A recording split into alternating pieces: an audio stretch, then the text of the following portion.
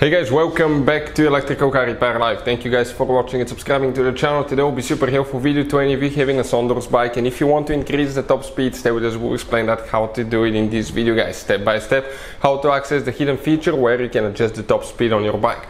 Ours is set at 20 mile per hour, we're going to increase it to 25.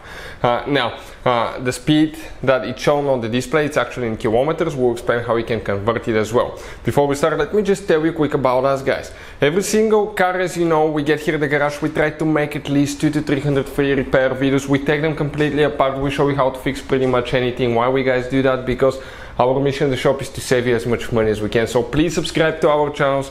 We have videos that can save you thousands of dollars. And if you need to buy parts and tools for your car, bicycle at a really good price and quick shipping, check out the link in the description of the video below and you can see where we get them from. So we have these two Sondors. It should work on the Smart Step. It should work on the Sondors X and the Fold X. I think it will work as well. How you can do that now, guys? You're going to turn your Sondors, right? Okay. And we're going to hold the info button to turn on.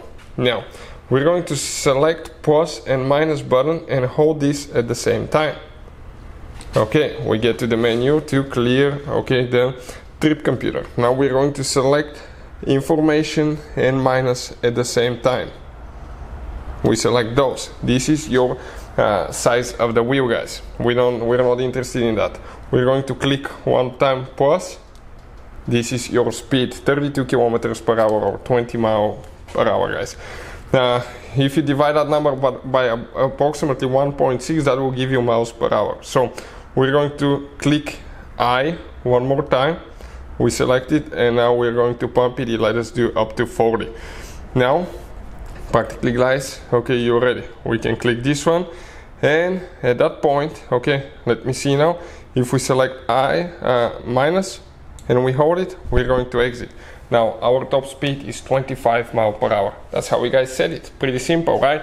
If you want to see how to properly fix your bike, we'll have quite a few videos as well. Thank you for watching and see you guys next time.